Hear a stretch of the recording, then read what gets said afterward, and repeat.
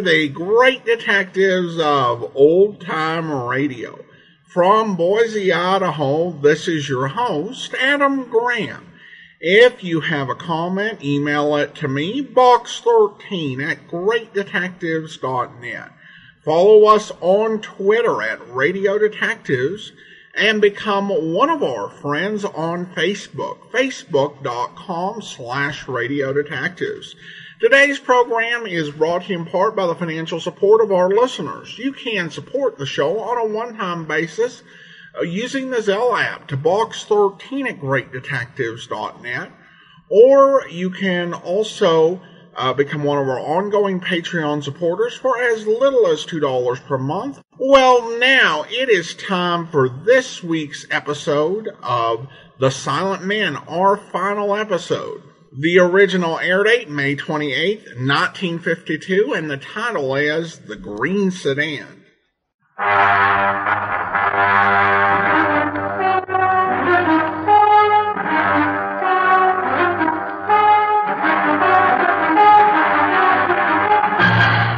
Douglas Fairbanks Jr. in The Silent Men.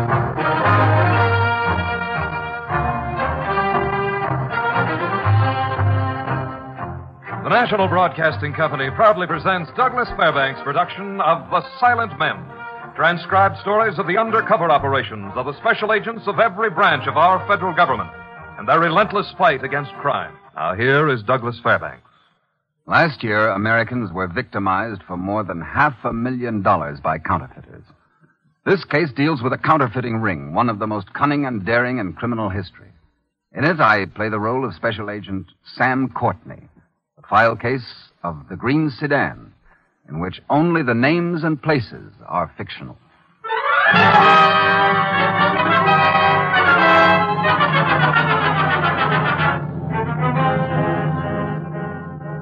Queer, bogus, or paper is what the trade calls phony currency.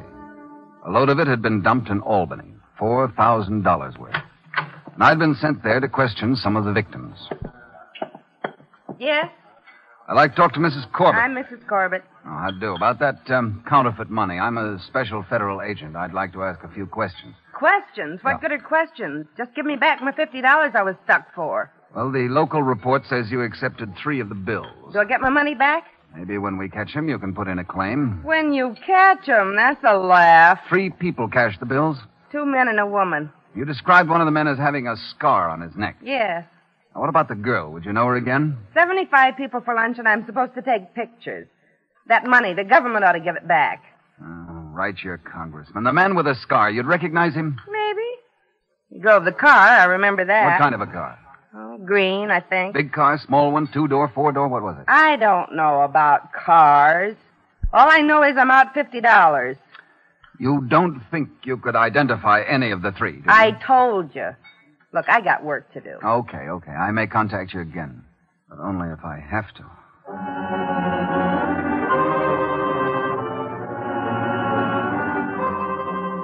I spent another two days in Albany gathering information. Then I checked into my divisional chief in New York City. All right, Sam, come in. Uh, chalk up another take for him, Chief. Close to 5,000 in Albany, tens and twenties. This is making me look silly, Sam. I don't like looking silly. One of the pushers had a scar on his neck. Drove a green sedan, seen in four different places. The car's got a license, Sam. Did you run it down? Four people saw the car, but not one of them remembers seeing the license plate. Uh, I might have known it. Only one thing they have in common, Chief. It's a green sedan, a light green sedan. Oh, great, Sam. Wonderful. They're turning out stuff good enough to get by the average banker. They keep hopping from city to city. We're in a rut, Sam. You and me both. Thanks. We're forgetting the most important thing. Not the crime itself, but the people behind it. Okay. So we know one of them has a scar on his neck, anyway. And one of them's a woman, a good-looking girl, about 25, about five three or 4. Yeah, about. Sam, go out and find me a man with a big, ugly scar on his neck. Guy that drives a green sedan. Must be quite a few around town. Hmm? Then run them down. One of them belongs to us. Medium, heavy build, scar on left side. All right, Sam, beat it. You got work to do. That is the understatement of the week.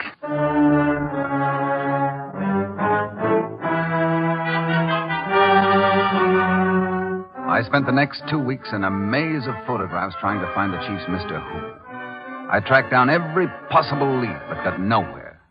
As a last resort, I contacted one of the characters of the underworld we lightly refer to as an informant. Got a match, mister? Sure. Thanks. Seen anybody around I might know? Oh, we're all right. We're looking for a guy with a scar on his neck. What's his name? We don't know. Think he's a New York boy? Last seen in Albany. What'd you want him for? Never mind that. Might be Ed Nello or Flashy Jordan. They're marked up like that. It isn't anybody we got on record. What'd you want him for? Pushing queer. Oh, the boys have been doing so well upstate. Yeah. Know anything about them? Well, I'll get in touch with you. Well, call me as soon as you know. Any time, at night or day. Uh, how about a retainer? Say 50, huh? Let's say 25. All right, only don't let it get around that I'm cutting prices.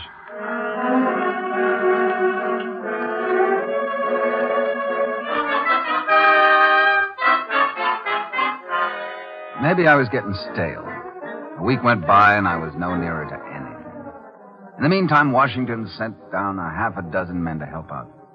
We set up an elaborate protective system throughout the state. It wasn't functioning in time. They struck again before we were ready. Buffalo.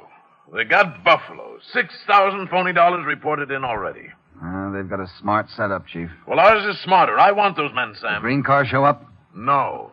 Neither did the man with the scar. Our big lead, and he doesn't show up. Well, he's around someplace. How about your friend, Ted? Haven't heard from him yet. Well, maybe you better get in touch with him. All right.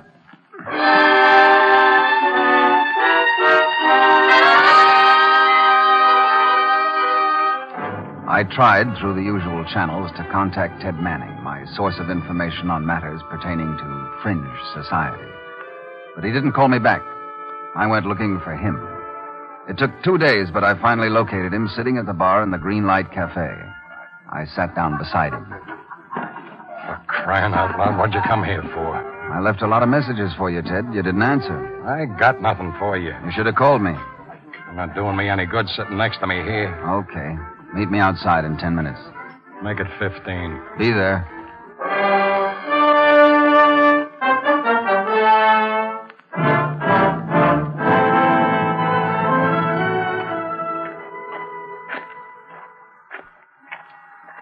Here's a good spot to sit down. Yeah, I never even knew there was a park around here. Well, you gotta look for these things. Ah, hey, that guy with the scar. I checked all around town. Ninety percent of my job is knowing when people are lying, Ted. Look, Mr. Courtney, you think I'd lie to a federal man? Who is he, Ted? Gus Manelli. Manelli. Hmm. Name's familiar. Got out of Sing Sing about seven months ago, armed robbery. Oh, I got him now, yeah, yeah. But as I recall, none of his pictures show a scar. He got cut up in a fight when he got out. Is he around town? I don't know. Are they working out in New York? Uh, it's like that kid in the beanstalk, Mr. Courtney. You start following it up, then you got an idea where it takes you, and you're back down in a hurry. And that's the way it was with this thing, huh? What I don't know, I can't talk about. Get it? All right. Just one thing. What's Manelli's part in the setup? Flonky. Errand boy. Where does he hang out when he's in town? Uh, so long, Mr. Courtney. This park air ain't good for me.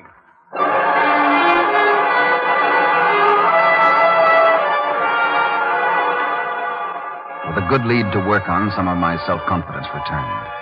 I got a batch of Manelli's police photographs and had one of the art boys paint in a scar on the left side of his neck. I took him down to Albany. Two of the four people who had seen him were positive in their identification. The other two, mm, almost so. Back in New York, I learned about the fight Manelli had been in. The guy who'd knifed him was Nick Forbes, another thug, temporarily out of prison. Well, what did I tell you, Sam? We start looking for people instead of machines, and we're getting places. Now we've got two men to get Gus Manelli and Nick Forbes. How do you figure they tie in together? Just because they're both among the missing? Uh, men fight over two things, Sam women and money. We find Forbes, and we can eliminate one of them. You want me to call on Manelli's mother? Yes. And Sam, uh, I'm putting another man on this with you. Yeah? A younger man. Someone who isn't in a rut, you mean, huh? Just came in from Washington this morning. Nice kid, you'll like him. But Who said any buts? a certain curl in your left eyebrow said it. Well, he's 22 years old and kind of excited about the whole thing, you know. A novice. Oh, no. Oh, he topped the class in theory. Uh, valedictorian, class of 51, eh? Well, he's apt to be a little over anxious about his first assignment. you might have to kind of hold him down a little. Uh, where is he? He's out in the hall waiting for you.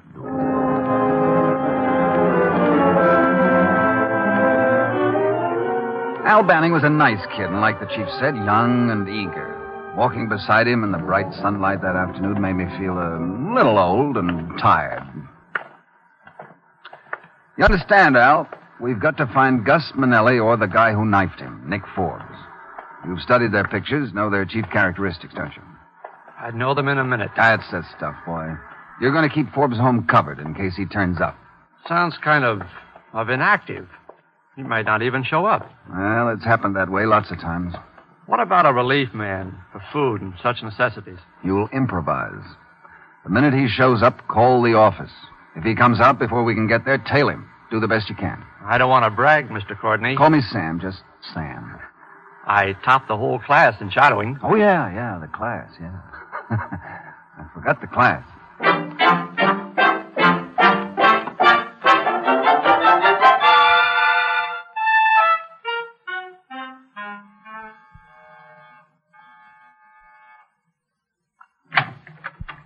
What do you want?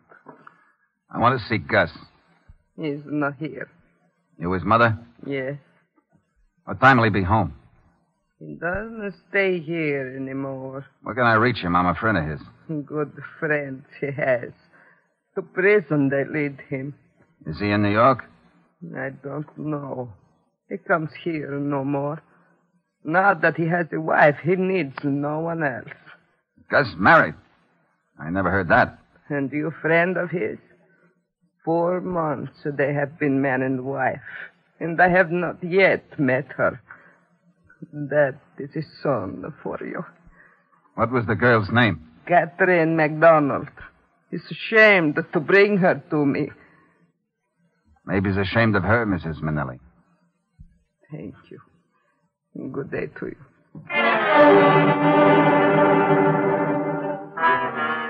Like the song says, first there were none, then there was one, Gus Manelli.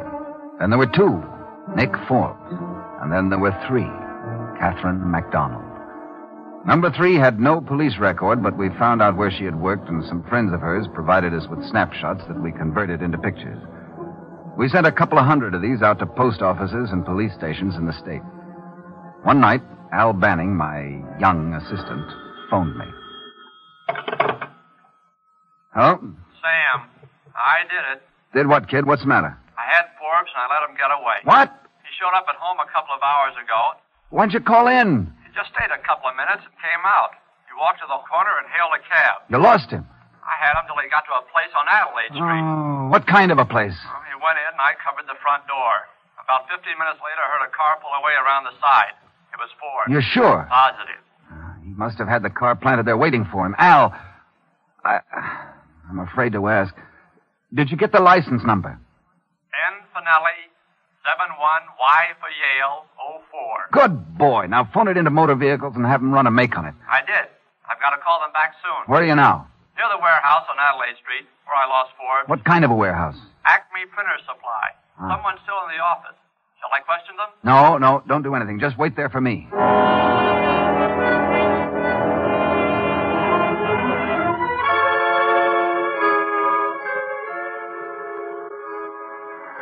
I didn't figure he'd leave around the side. Well, he must have picked up some paper or ink. I was stupid. I should have known. No, forget it, kid. The guy's still in there. Shall we go in and talk to him? No, no. We might tip him off that we're getting warm. Maybe he's on the level. Uh, we can't take any chances. Tomorrow you go in and find out if they handle triple A Pearson bond paper. The brand they're printing the money on now. It didn't show at home. I checked. All right. We've got things to do. The owner of the car. They should have it by now. Come on, kid. The night's young. Only a quarter to twelve.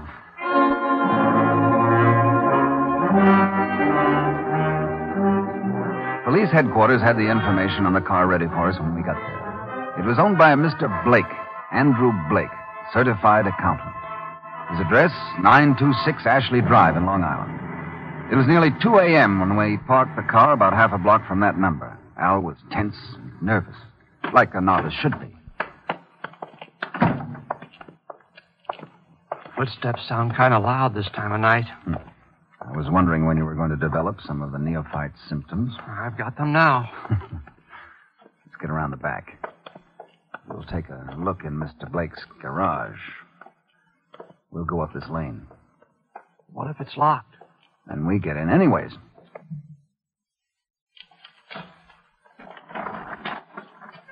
Place isn't locked. Put your light on.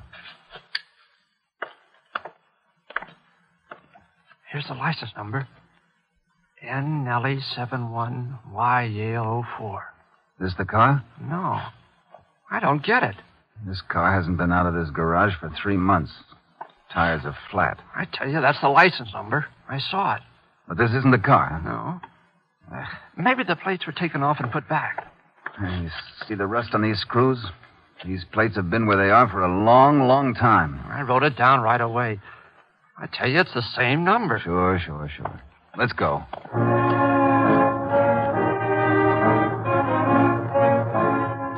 The big lead dissolved into minus zero. We even went so far as to check on all license numbers that had the same four markings, but it led us nowhere. I sent him back to keep an eye on Forbes's house. A few days later, the chief sent for me. Sam, I've taken Al off Forbes' house. I put someone else there instead. All right with me. He uh, asked me to let him follow a couple of leads of his own. You don't mind, do you? Uh, what for? It's ten years since I sulked over something like that. Yeah, the boy's made some interesting discoveries. Ah. So that's what this has been leading up to, eh? He found out that the McDonald girl, Gus Manelli's wife, used to work for the accountant. What's his name? Blake? Yeah. Ah. Then he got into Blake's garage and took one of the sets of plates off and had them tested in the lab. The kid's all right at that. What did he find? Some bits of clay, the type they make molds out of. I'll be darned. He figures somebody made a cast of the license plate, eh? Yeah. Nellie could have gotten to it, I guess. Maybe the accountant himself. How'd you like to go and have a talk with him? Oh, that's Al's lead. I think he's the one to. Well, that's one thing he's not ready for yet. Just uh, an exploratory talk. Don't spring anything on him. No, I'll play it soft and sweet. Waltz tempo.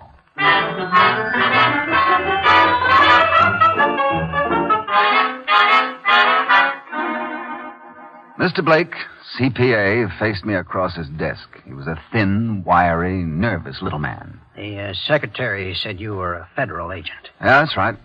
Oh, what do you want to see me about? You had a Catherine McDonald working for you some time ago. Hmm? Working? A light-headed, gum-chewing incompetent. Any ideas to her whereabouts? She would hardly have reason to keep in touch with me. I had to discharge her. Why? Incompetence, I told you before. You haven't seen her since? I, uh, who says I have? Nobody, nobody. I, I just asked. Well, I haven't. Uh, was she ever at your home in Long Island? She may have been. See here, it seems that your questions are directed towards me, not her. Not at all, not at all. Well, I, I don't know where she is. What's she done? You haven't seen her since her discharge? Are you baiting me?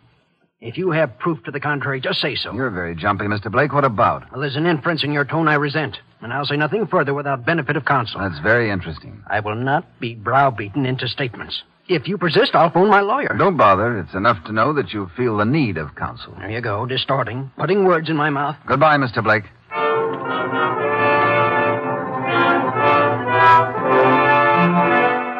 Sometimes high strung people react like Mr. Blake to any law enforcement agent. But in his case, I detected a genuine fear of being questioned.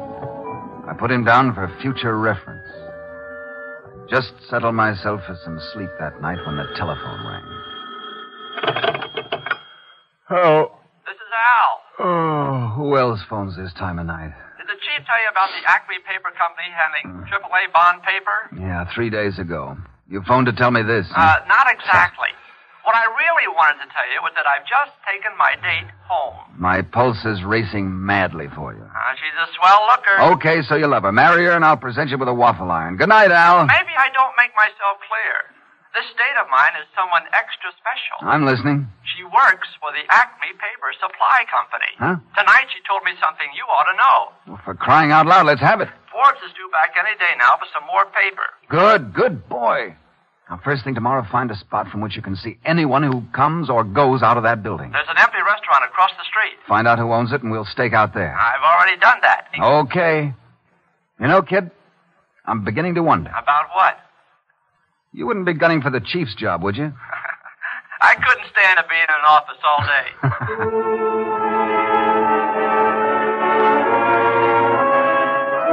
Next day, I joined Al in the empty restaurant. Everything had been removed but the smell of stale grease.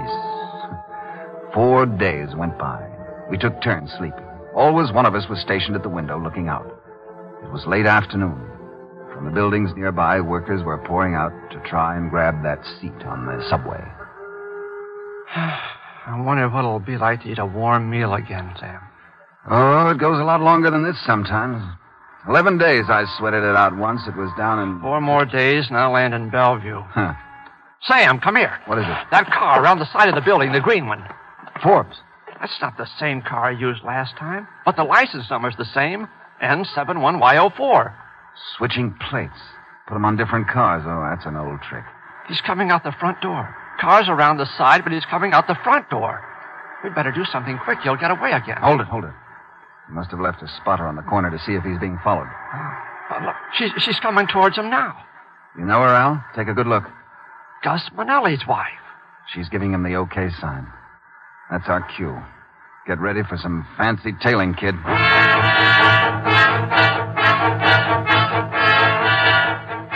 Forbes tried every known gimmick to test for a shadow. He ran signals, made unexpected left and right turns, stopped and started again suddenly. I kept up with his crazy maneuvers. I'd, I'd been at this sort of thing longer than he had. At last, he was satisfied that he was in the clear. He headed for Brooklyn. When he got there, he stopped in front of a little Italian restaurant. We pulled up um, half a block behind them. Forbes locked the car, and he and the girl went inside the cafe. I couldn't have followed them five blocks. This comes under the heading of postgraduate work, my boy. I could sure go for some food. Uh, some other time, maybe tomorrow. Maybe we should pick them up now. Supposing we lose them. Such optimism I can do without. These people are going to lead us to the printing plant and the plates. That's the trouble with you youngsters. Okay, Dad. Don't okay. you dad me. I can. I can still. What's the matter? Uh, you know what, kid? We may be up most of the night. How'd, how'd it be if I caught a few winks now? Hmm? Go ahead, Dad. I'll wake you.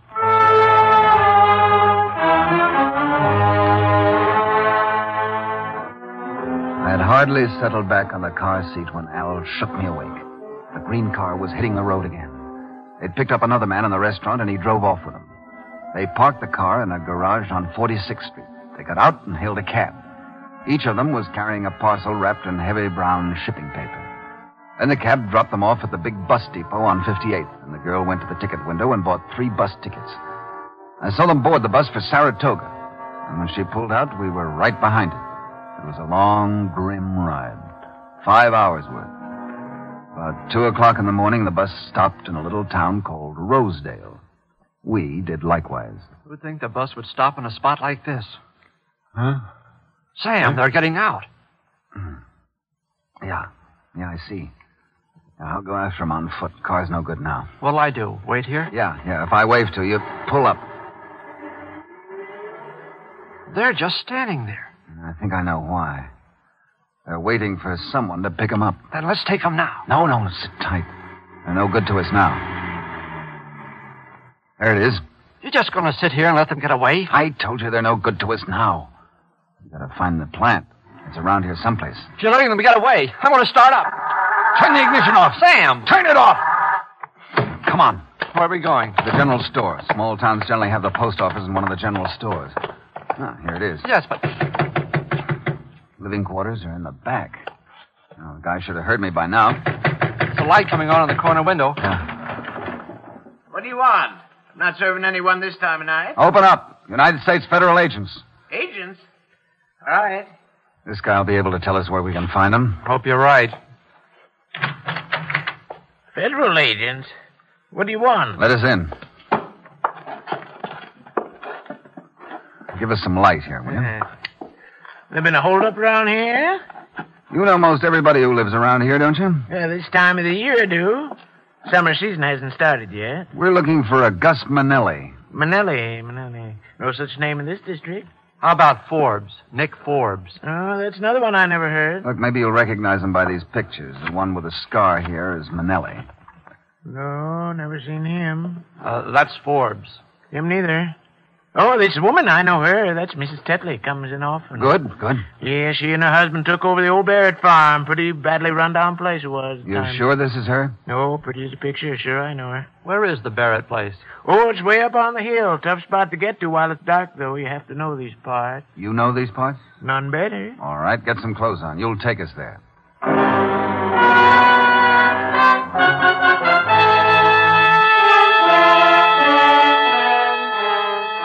He was a reluctant guide, but a good one. In half an hour, we were sneaking up a dirt road in the hill above the town. Near a clump of bushes, he told Al to stop the car. Uh, that, that's where Mrs. Tetley lives, down the hill through this brush. It's kind of chilly. Man, two hours before sunup, gets cold up here. And steep drops around here. Better not move around before daylight. Uh, you better go back now. We'll pick up the car later. Anything you say, but it's a long walk back to town.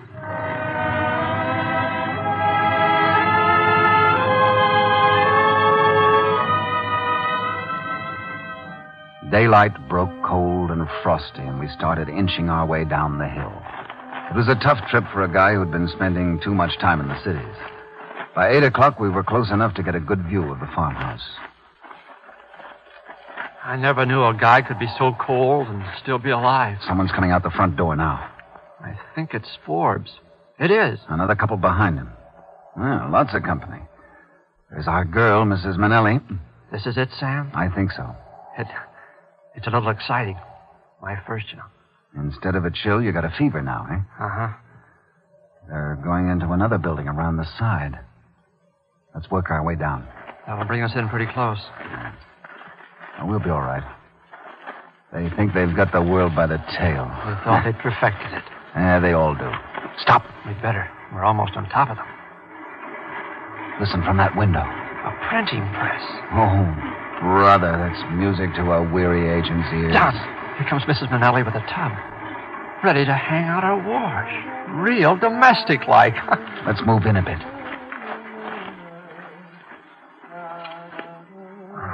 They never told us it'd be like this. Oh, sometimes it's like this, sometimes it isn't. That stuff she's hanging out on the line. It's not clothes. Sam, look. Uncut counterfeit currency. She's hanging it out to dry. Yeah. I wonder who's behind this operation. Behind it. You see them in front of your eyes. You kidding? These guys are workhorses. The guy who does the thinking is just getting into some office in some swanky building right now. We're just going to stand here? No, no. One of us is going back to town and call the chief and bring in a raiding party. Oh, my pulse beat. If a doctor were to take it now, he'd give me oxygen or something. Should simmer down on your way back to town, Sonny. Okay, get moving.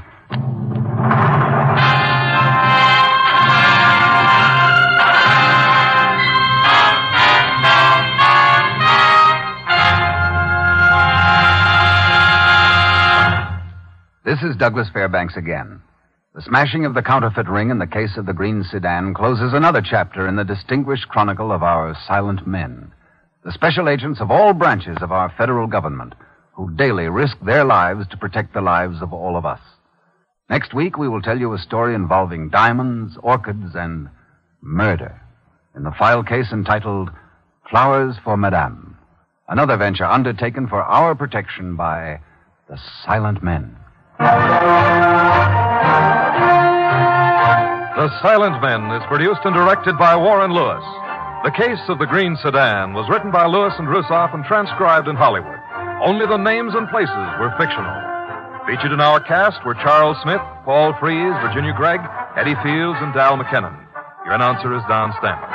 Douglas Fairbanks is currently to be seen in his own motion picture production of Mr. Drake's Duck. Listen again next week and every week for other exciting cases involving the law enforcement adventures of the special agents of our federal government. For they are the silent men.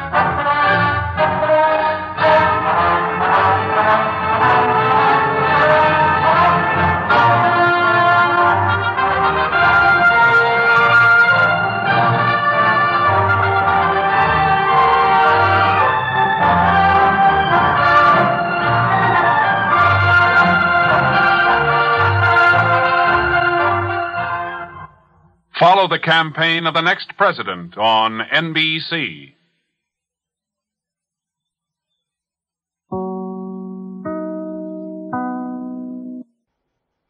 Welcome back. Well, an interesting episode in that it left the mastermind of the case unnamed.